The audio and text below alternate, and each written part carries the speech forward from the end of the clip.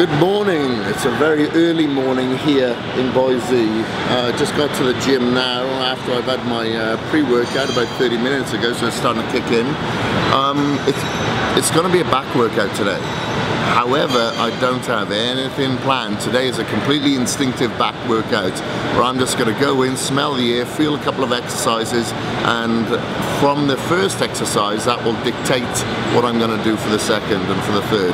So I can tell you what the first exercise is going to be, and that's going to be the reverse pull down. Uh, once I've done that, I'll see exactly how the back feels and what I'm going to do from there on in. I think I'm going to stick to machines mostly today. The last two days, I haven't had much sleep at all. So um, I don't want to do anything crazy or anything, you know, that's, you know, a huge compound movements, very heavy because, you know, I could be playing with injury there because I haven't really adequately recovered and I don't feel completely rested to go and hit any PBs or anything like that. So I think we're going to stick mainly to machines today and I'll be focusing more on the squeeze and the contraction and the range of motion and getting that mind-muscle connection more than anything. Working a little bit more on the detail as opposed to the mass and um, and see where it takes me. You know, some occasionally I'll do these instinctive workouts, not very often, but occasionally I do, and uh, that's what I've found has been a good way for me to continue to grow without having to deal with any injuries. So sometimes it's really good to kind of listen to your body and allow your body your body to kind of tell your brain where to go. Uh, so you know we've got a bit of a maze here today, and now we have to kind of play a game to navigate our way through the weights uh, room uh, to see you know uh, how we connect these dots today. So, um, you know, I woke up early just to make sure that I was adequately hydrated, if anything, because I find that's of utmost importance, um, just so we get good electrolyte function, good mineral balance, and uh, so we can get a good contraction throughout the muscles regardless. So, um, let's, get, let's get in there, man, and see what's up. All right, so now comes the in-caged. Here's some we prepared earlier. A nice little compartment in this Splenda bottle. Right, I'll start drinking that in about five minutes after we've done the first exercise.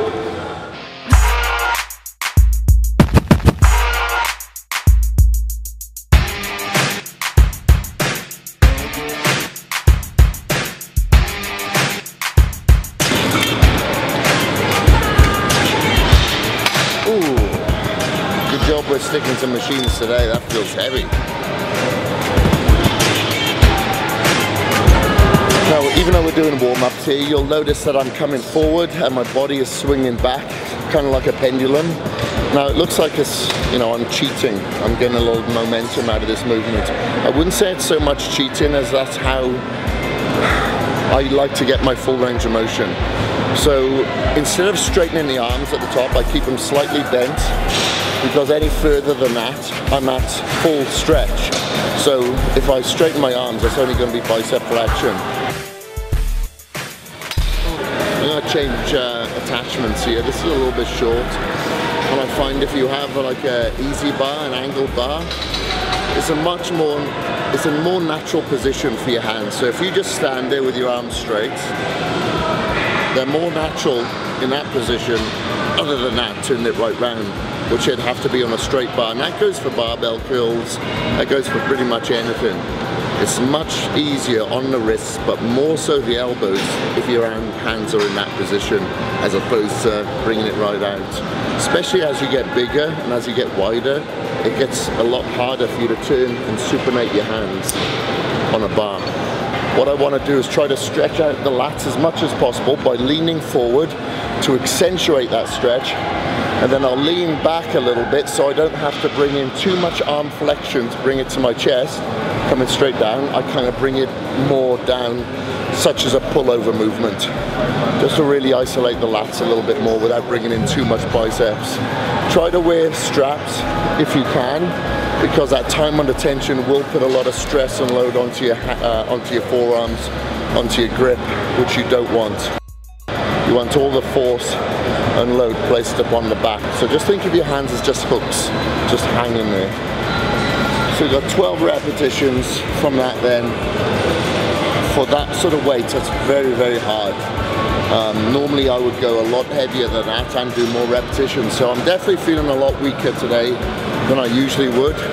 So I instinctively adapt now by sticking to these sort of weights, working on the form, working on the contraction, the squeeze of the muscle, and sticking to more machines.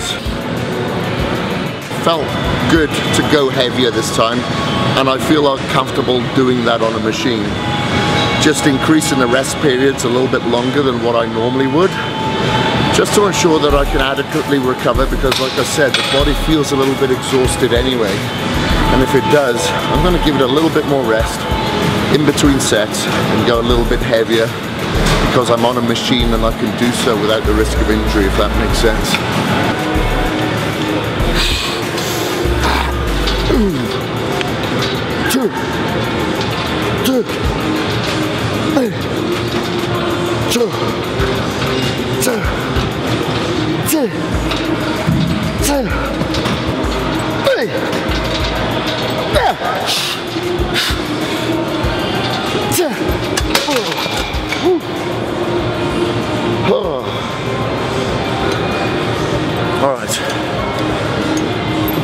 Sets of that, three working sets, probably did about six sets in total with the warm-ups.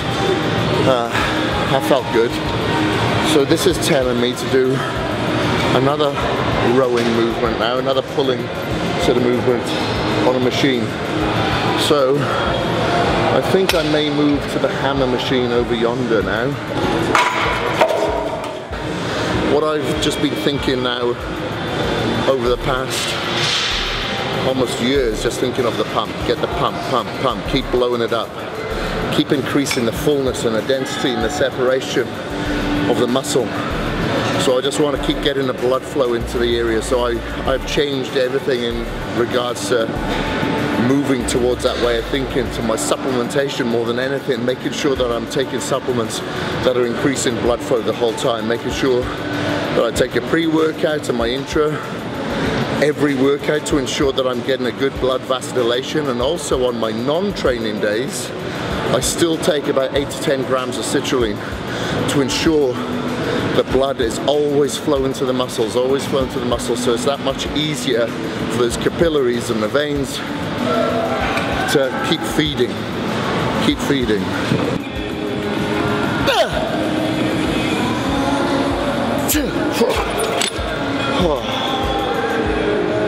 First set done. Now what you'll notice, catch my breath, some of my sets are going to differ from other sets. So this set was much a pause and contraction and squeeze, making sure that I didn't use any other assisting muscles because if I couldn't hold it there, I would have used some other assisting muscles to get the weight down. But on the next set, I'm going to use more momentum and go heavier so I can concentrate a little bit more on explosiveness of the movement. Uh, but I'd only recommend that you do this after one or two strict sets, just to make sure you get a better neuromuscular contraction. It feels more magnified, you know, you can really feel every portion of the back being contracted. So then when we go heavier, it's kind of a little bit more isolated already and pre-fatigue, so you know exactly what you should be feeling for. So uh, that's what I'd, I'd only recommend that you do these heavy sets like this with a little bit of momentum, a little bit of control cheating after you've done a couple of real tough isolated sets.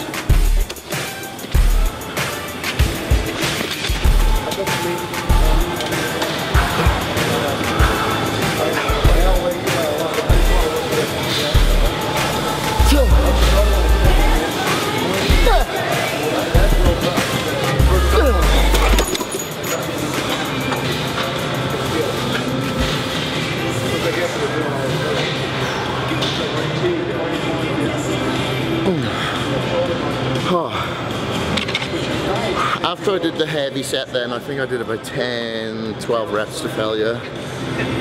Uh, my body just told me then, continue going and you've got more. So that's when I thought, okay, let's do a drop set. And I only knew that when I actually finished the set. Uh, so sometimes, you know, you don't have a plan that you stick to. Your body kind of tells you what that plan is as you go along. And uh, I think I got like about six extra reps. So a good six extra reps that I wouldn't have normally got. And uh, you'll notice that I didn't strap up then when I did the drop set. There's no need to. My back was already pre-fatigued. I knew I wouldn't be holding on to these handles for that long. So there's no need to strap up then.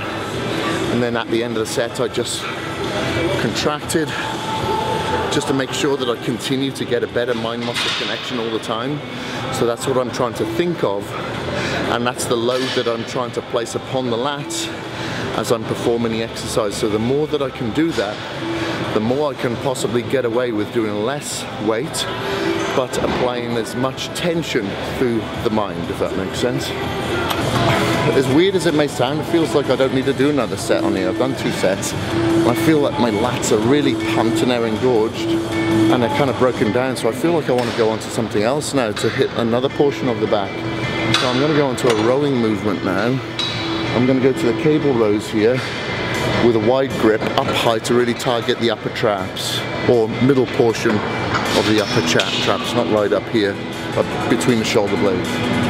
Now you'll notice wherever the elbows point, that's where you're working on your back. So if I was coming down here, I'll be working a little bit lower down the back. If I come up here, I'm working straight across the midline of the shoulder blades. Now you're not going to be able to go as heavy when doing that because you're going to get less involvement of the lats. It's going to be more so your traps.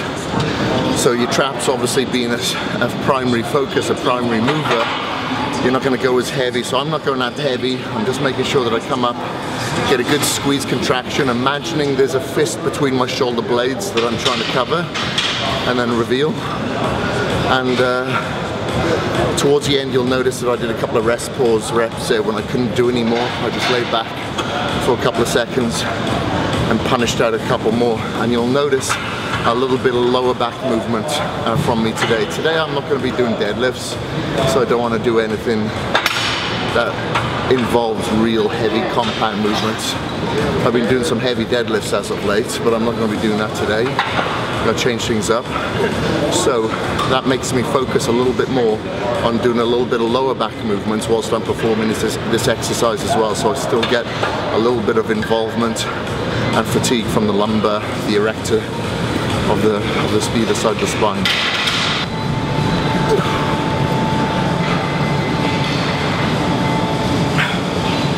Another reason why you can't go as heavy on this movement is because we're using a very wide grip. If we were going close grip, we'd use more bicep flexion. The arms would bend more.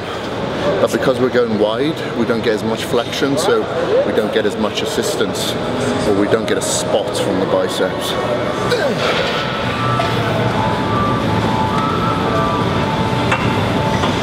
Okay,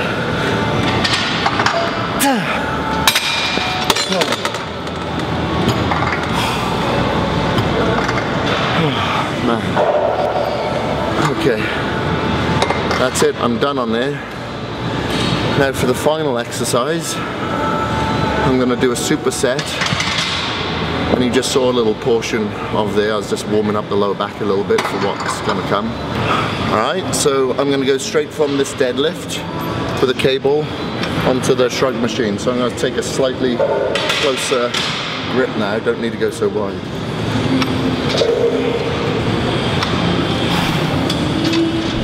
As Ronnie would say,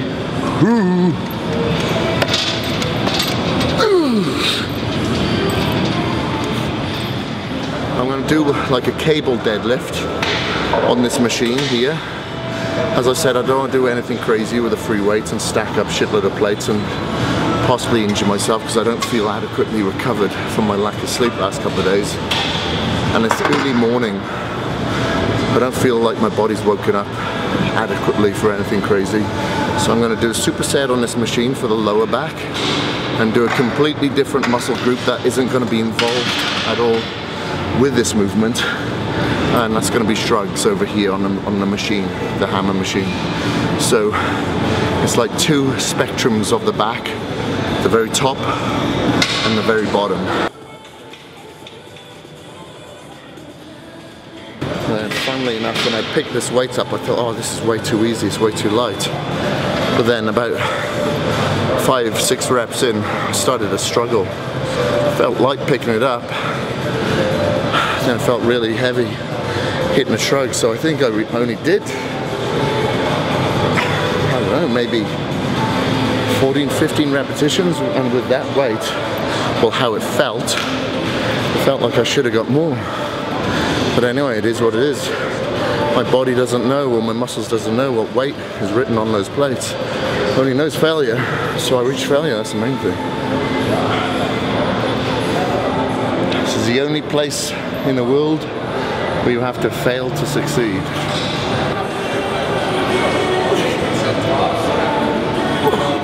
I think I did about the same then, about 10 or 12 reps on a deadlift.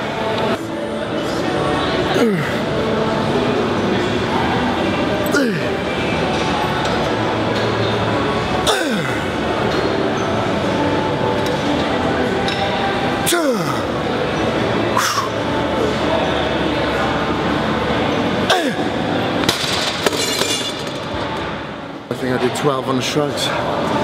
Totally fatigued, totally broken down. And as I said, this workout's very instinctive, where I'm connecting the dots as my body tells me to, and I'm navigating this maze based on the instincts. And now my instincts are telling me after only two sets to failure on that last superset. That's it. Back is done, that's enough. Oh. Playing my